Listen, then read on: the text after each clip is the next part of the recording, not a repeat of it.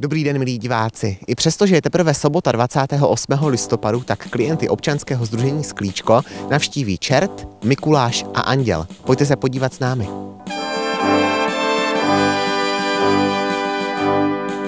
Tak dneska jsme připravili pro děti ze Združení Sklíčka eh, Mikulášskou besídku.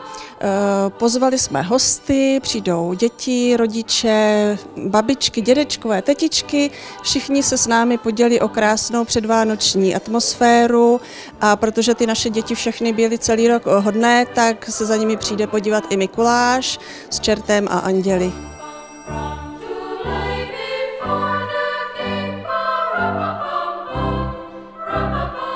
Celý rok jsme se na to těšili a byli jsme moc hodní všichni, takže ten Mikuláš za námi opravdu dneska přijde i s čertem a andělem.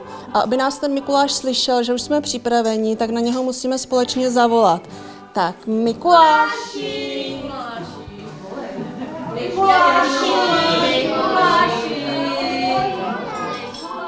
Každý z vás má nachystanou básničku, každý z vás byl hodnej. Ano. Že? Byli jste všichni hodní? Ano. Já si myslím. A kdo ne, tak ten se básničkou určitě vykoupí.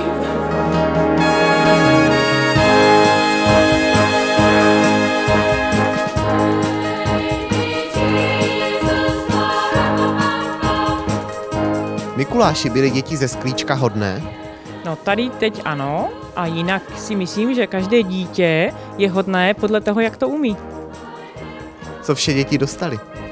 Dostali nějakou sladkost, dostali samozřejmě moji podobiznu, aby si ji mohli uchovat na nějakou chvilku, dokud to nesníjou, no a samozřejmě ovoce. A co vy? Byli jste doma hodní nebo zhlobíte maminku? No, No, jako úplně hodní uh, nemůžeme no. být, protože to není možný.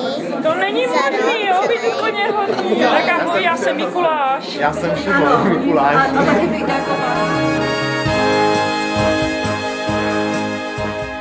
Jak se ti tady líbí? Dobře se mi tady líbí. Co jsi dostala od Mikuláše? Uh, cukroví a balíček. A byl Mikuláš s čertem a s andělem hodný? Byl. No pěkně, jako je to, mají to tady pěkně nachystaný, nazdobený, jako holky se snažili, teda je to pěkný tady, no. Co jste říkala na mikulášskou nadílku? No bohatá, mají to hodně, jako a, a bylo to moc pěkný, jako ty čerti, teda ten čert hodnej tady byl, že? Ani se nebáli děti, no. Eh, Lení, a vám se líbila jak mikulášská? Mně se líbila, moc taky se mně líbila. Je to tady pěkně nastrojený, že to tady za, ty, za včerejšek vlastně zvládli. To na tak rychle nastrojit a nachystat. Co jste dostala od Mikuláše? Já jsem dostala balíček a tady kolexu teďka držím. Paní místo starostko, jaká byla atmosféra dnes? Atmosféra je strašně milá, přátelská, je takový ten krásný duch tady, takže se tady cítím strašně dobře a ti lidi to tady jsou úžasní prostě. Co byste popřála klientům z klíčka nebo i okýnka do nového roku? Já bych jim přála hlavně zdraví, štěstí, lásku. Bych mi chtěla strašně vyjádřit svůj obdiv, protože jako není to lehký pracovat s postiženýma, takže i tu pevnou vůli a sílu pracovat dál takhle, jak pracuji. A děkuji moc. No, líbí velice. Já sem chodím jako velice často a na to, že jsou tady trochu stisněné prostory, tak je to vynikající atmosféra a ty děti si to opravdu zaslouží. Co byste popřál klientům z klíčka nebo okýnka do nového roku? No samozřejmě hlavně zdraví, štěst, štěstí a, um, a co nejvíc lásky v těch rodinách, poněvadž ty rodiny, co se o ně starají, tak opravdu mají co dělat, mají se co otáčet a my zdraví bychom si to měli uvědomit a být eh, jim i za to, co všechno dělají vděční.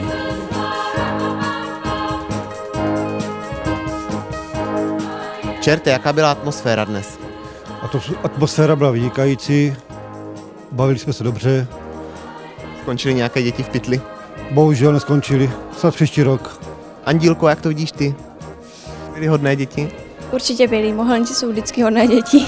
Taková byla Mikulášská besídka občanského združení Sklíčko. Já vám všem přeju veselé Vánoce a šťastný nový rok. A vám, milí diváci, děkujeme za pozornost. Šimon Čvup, Mohelnická televize. Ahoj!